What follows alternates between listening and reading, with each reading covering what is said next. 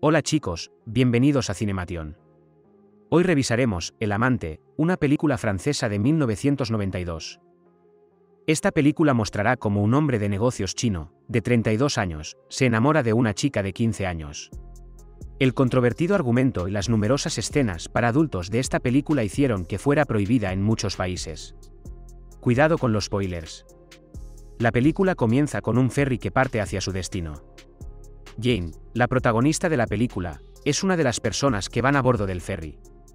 Jane es una colegiala francesa de 15 años de un remoto pueblo vietnamita. Su madre es profesora en el pueblo y tiene dos hermanos. Pierre, su hermano mayor, es el matón de la casa. Es el jefe de la casa y tiene a su hermano menor bajo control. Paul es todo lo contrario a Pierre. Se deja intimidar fácilmente por sus compañeros y le tiene miedo. Jane es estudiante en un albergue escolar de Saigón y ha venido a pasar las vacaciones. Pierre es un problema y Jane no está contenta. Él intimida a Paul, lo que a ella no le gusta y le grita. La madre de Jane ve el comportamiento grosero de Pierre y no dice nada.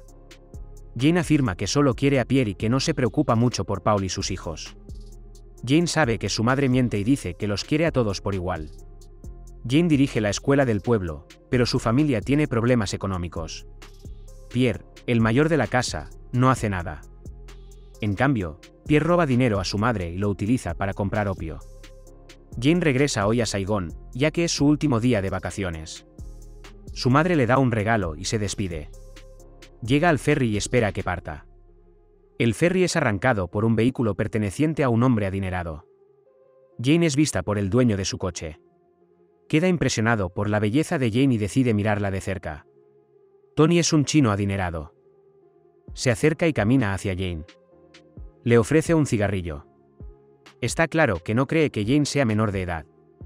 Jane rechaza amablemente el primer anzuelo de Tony. Tony intenta mantener una conversación con Jane, pero esta no responde.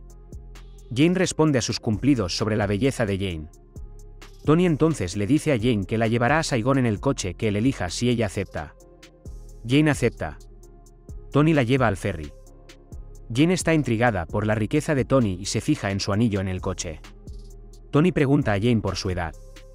Jane, a pesar de tener solo 15 años, miente a Tony sobre su edad. Le dice a Tony que tiene 17 años.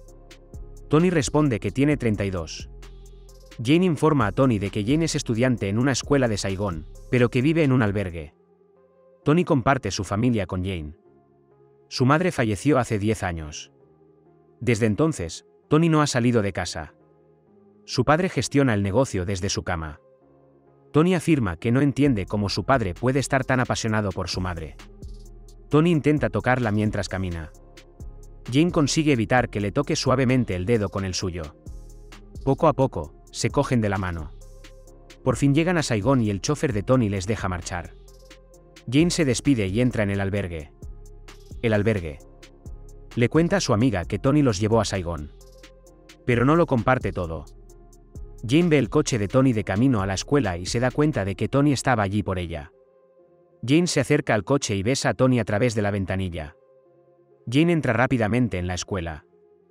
Jan sale de la escuela y empieza a buscar a Tony, pero no lo encuentra. Un día, Tony aparece en el albergue. Jane se prepara y se va en su coche. Se miran, pero no se dirigen la palabra. Tony la lleva a una casa donde le cuenta que su padre le regaló esta casa. Tony le cuenta a Jane que los chinos ricos utilizaban esta casa para tener amantes. Tony le informa a Jane que quiere tener una relación con ella, pero que tiene miedo de enamorarse de ella. Tony se pone nervioso y sugiere que se vayan. Jane insiste en que está encantada de ser su amante. Tony comienza a tener un romance con Jane, a pesar de no saber su verdadera edad. Tony puede entonces escuchar la historia de Jane sobre su deseo de convertirse en escritora por la noche. Ella le cuenta a Tony su deseo de escribir sobre su familia. También le cuenta que su familia tiene dificultades económicas desde la muerte de su padre. Tony le pregunta a Jane si estuvo allí para ayudarle.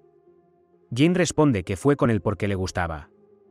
Tony lleva a Jane a cenar a un restaurante elegante. Jane parece muy feliz de estar allí. Tony saca su cartera para pagar la cuenta. Jane le ayuda un poco poniendo algunos billetes. Tony sonríe a Jane mientras mira la cara de esta. Jane le explica que su madre cree que una vez que pierde la virginidad, es imposible que encuentre un marido. Tony le responde que su padre no le permitiría casarse con otra mujer que no fuera china. Jane se ríe de esto y dice que le gustan los hombres chinos. Jane recuerda las palabras de Tony esa noche y llora. Ese fue el final de ese día. Tony siempre recogía a Jane durante sus vacaciones y la llevaba a la casa de soltero de Tony. Su intimidad aumentaba con cada visita. Una noche, Tony le cuenta a Jane que su padre quería que se casara con la hija de un rico empresario chino.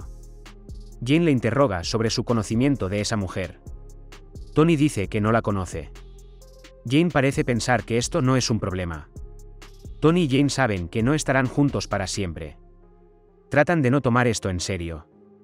Solo se centran en su relación física. Jane se va de vacaciones y vuelve a su casa en el coche de Tony. Su madre interroga a Jane sobre la persona que la dejó en su casa. Jane dice que fue un amigo adinerado al que no conocen. La madre de Jane muestra entonces a Jane una carta de su albergue. En ella se dice que Jane pasó muchas noches fuera del albergue.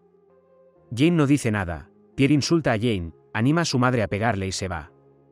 Regresa a casa al final de sus vacaciones. Jane lleva a su familia a conocer a Tony. Tony se muestra respetuoso con todos ellos, pero parecen desinteresados en él. Tony comienza a hablarles de él, pero todos están concentrados en su comida. Jane es consciente de ello, pero no dice ni hace nada al respecto porque no quiere que su familia se entere de sus sentimientos hacia Tony. Quiere que su familia piense que Tony era un amigo rico, no alguien con quien se acostaba o amaba. Tony saca su cartera después de la comida para pagar la cuenta. La madre de Jane se sorprende de la cantidad que tiene Tony. Salen del restaurante para ir a otro lugar. Pierre se pelea con Tony, pero este mantiene la compostura y se sienta. A Jane no le afecta el comportamiento de su familia hacia Tony. Jane incluso comienza a bailar con Paul, y Tony casi derrama una lágrima ante su indiferencia. Se da cuenta de que Jane fue la única de su familia que lo conoció por su riqueza. Cree que Jane también se involucró con él porque era rico. Esa misma noche, Tony lleva a Jane a su casa de soltero. Jane está ansiosa por cómo Tony trató a su familia. Tony se acerca a Jane y le da una bofetada. Cree que Jane se acostó con Tony no porque lo amara, sino porque quería su dinero. Tony comienza a quitarse la ropa y Jane vive en paz. Esta noche fue diferente a todas las anteriores. Jane actúa como si no le gustara Tony y le pide dinero. Tony saca algo de dinero de su cartera y lo tira. Parece molesto por todo. Jane acepta el dinero y se lo devuelve a su madre. La madre de Jane habla con el director del albergue y le pide permiso para dejar que Jane se vaya cuando quiera. La madre de Jane lo hace para que Tony gane más dinero. Jane cree que Tony es un amigo rico. Jane se acuesta con ella, pero no lo sabe. Sin embargo, muy pronto toda la escuela se entera de la existencia de Jane y Tony. Ella es una marginada. Tony se va a casa de su padre para hablar de su matrimonio. Jan recibe el anillo de su madre antes de marcharse. Sigue sintiendo por ella, a pesar de todas las circunstancias. Tony le dice a su padre que no quiere casarse con la chica que su padre había planeado. Jane es su amor. Su padre no aprueba esta idea. Le dice que tiene que casarse con la chica que él ha planeado. Tony se lo cuenta todo a Jane. Le dice a Jane que la ama, pero también que no puede enfrentarse a su padre. Su padre no es nada sin él. Tony se encuentra en un aprieto. Tony no sabe a qué atenerse. Jane le dice a Tony que Jane no ama a Tony. Debería casarse con la mujer que quiere su padre. Tony se entristece al escuchar la historia de Jane. Jane lleva a Tony a la propiedad familiar. Tony se entera de que su padre murió y su madre fue engañada por los vendedores de tierras. A continuación, le vendieron las tierras de la inundación. Así fue como se empobrecieron. Jane se sienta allí, pensando en el dolor que pudo haber experimentado su madre. Tony siente la misma emoción, pero están separados. Tony le pide a Jane que le explique que solo se acostó con Tony por su dinero. Tony le pide a Jane que repita las palabras exactas que él quiere. Tony le pide a Jane que repita estas palabras para que sea más fácil olvidarse de ella. Jane intenta acercarse a él. Tony interrumpe a Jane y le dice que lamenta no poder llevarse a Jane con él. Dice que ya no quiere estar con Jane porque ésta no le quería. Al día siguiente, Jane va a casa de Tony en el coche de este para que su madre y sus hermanos puedan ver el anillo que Tony le regaló. Preguntan por qué Tony le ha hecho un regalo tan costoso. Pierre afirma que es probable que Jane se haya acostado con Tony y que por eso éste le haya regalado ese costoso anillo. Para evitar sus sospechas. Jane tira el anillo y afirma que no le importa. Pero Pierre no la cree en absoluto. Empieza a golpearla con los puños y la bofetea. Paul es capaz de escuchar todo, pero no puede hacer nada. Después de ver a Pierre se pone violento. Su madre envía a Pierre de vuelta a Francia para que luche por sus otros dos hijos.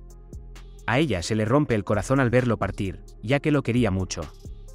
Jane vuelve a la casa de soltero de Tony unos meses después y lo encuentra completamente diferente. Estaba muerto y se pasaba el día fumando. Jane le pregunta cuándo se casó. Tony responde que fue solo unos días después. Jane pudo presenciar la unión de Tony y Jane cuando ésta se produjo. Tony mira a Jane, pero rápidamente gira la cabeza. Jane se entristece al ver que Tony y su esposa se van.